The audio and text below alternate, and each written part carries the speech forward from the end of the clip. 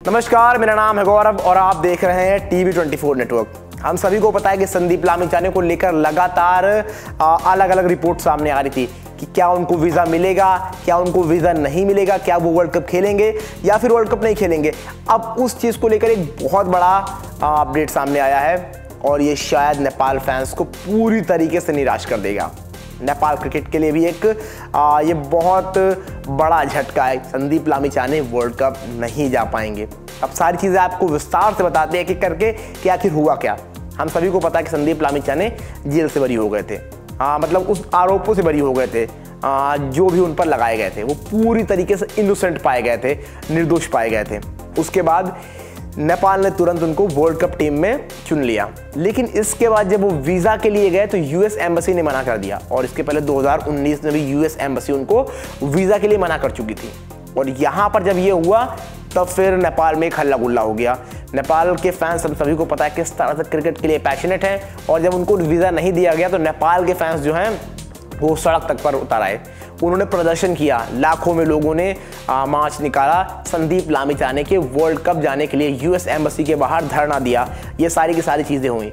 इसके बाद नेपाल क्रिकेट के प्रेसिडेंट जो हैं, उन्होंने जो अब अपनी गवर्नमेंट से बात की थी, उसके ज़रिए संदीप लामिचाने को कॉल आया और इंटरव्यू के लिए वहाँ पर बुलाया गया यूएस एम्बसी और सबको उम्मीद थी कि आप वो चीज़ें अपनी एक्सप्लेन करेंगे किस तरह से क्या कुछ हुआ और इसके बाद संदीप को वीज़ा मिल जाएगा। लेकिन फिर से एक बार यूएस एम्बसी ने उसी गलत तरीके से संदीप को वीज़ा नहीं दिया और साथ में ना कोई रीज़न बताया। अगर आपको वीज़ा नहीं देना है या क्यों नहीं दे रहे हैं तो उसके पीछे एक कारण तो बताइए। उन्होंने कोई कारण नहीं बताया संदीप लामिचाने को वीज़ा नहीं दिया।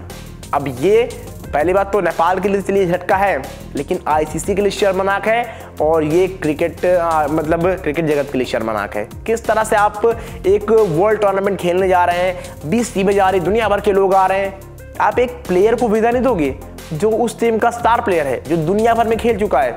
जिसने अपनी टीम को, अपनी टीम का परचम ग्लोबली लहराया है। चाहे आईपीएल की बात करें बिग बैश की बात करें, इसके बाद सीपीएल की बात करें, सारी जगहों पर वो खेला हुआ है। तो उसको तो एक्सपीरियंस था वहाँ पर खेलने का। क्योंकि वो खेला हुआ है और वो जब उस टीम का स्टार प्लेयर है और जो भी एक्सपीरियंस भी लाता है बाहर से, लेकिन वही नहीं होगा तो नेपाल के लिए बहुत बड़ा झटका है कि किस तरह से नेपाल प्रदर्शन करेगी, ये अपने आप में सोचने वाली बात होगी।